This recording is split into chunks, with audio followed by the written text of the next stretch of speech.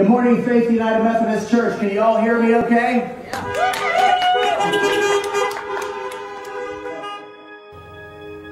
Satan will not win.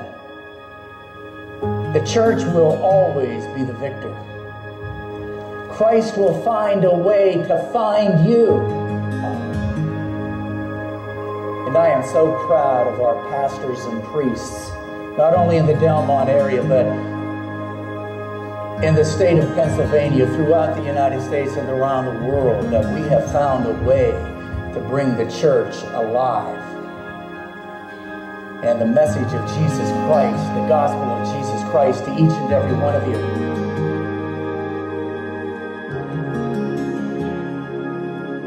And today, this service is reaching out to hundreds and hundreds of people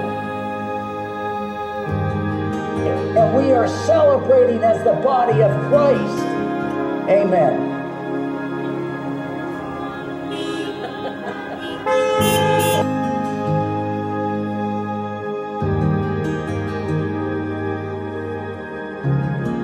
Doesn't it feel good to be somewhat normal again? Doesn't it? Doesn't it?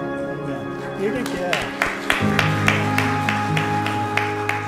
I think it's been about 18 months before is now unfolding again. So we praise God for leading us and guiding us through this process. Let's pray.